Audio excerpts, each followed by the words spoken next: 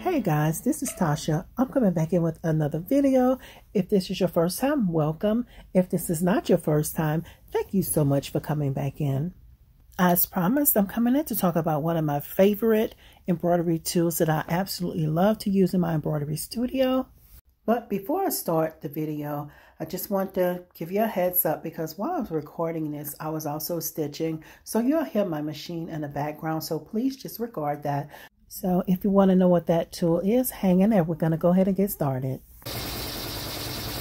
Okay, so just wanted to show you all this up close because sometimes the machine, I don't know if you can see this. That loop in the design right there?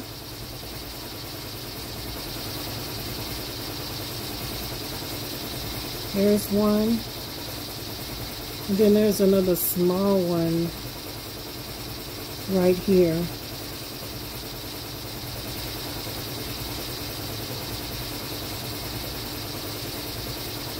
It's a very small one.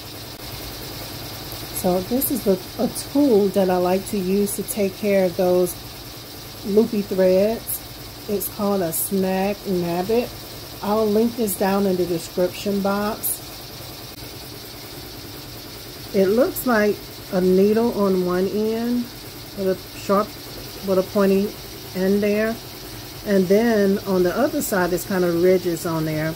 So what you'll do, you'll take the this end and insert it into the design on the edge of the design. You don't want to go through the middle of your design because this end right here will pull the thread down.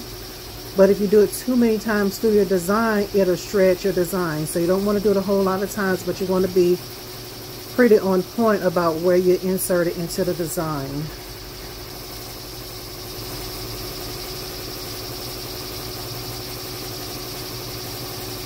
Here's the loop right here. I just like to go on side of it. Just kind of loop it and just take it down on side of the letter here.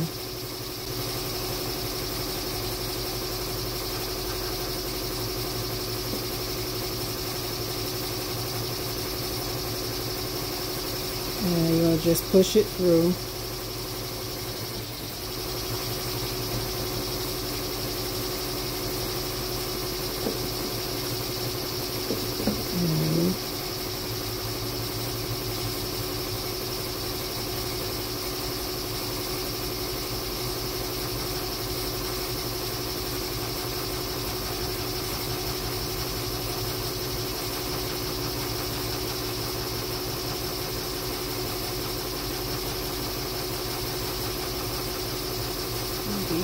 Pushing it through.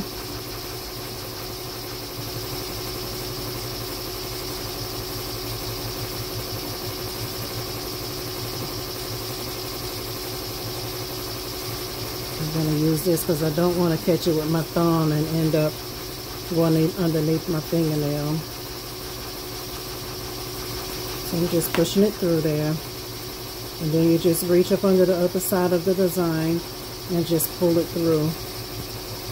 You see, it pulls that thread down in there. Okay, so again, this is a good tool that I think you should have. Well, I, I recommend that tool because it'll save you. And here's another one right here.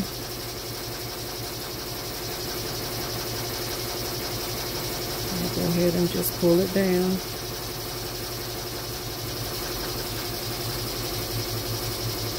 Just kind of go through that loop there.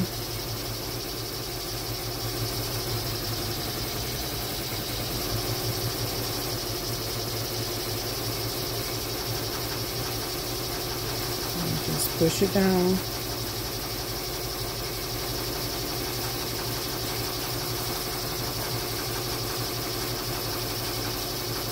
again, I don't want to push it with my thumb because I don't want that to slip and go underneath my fingernail.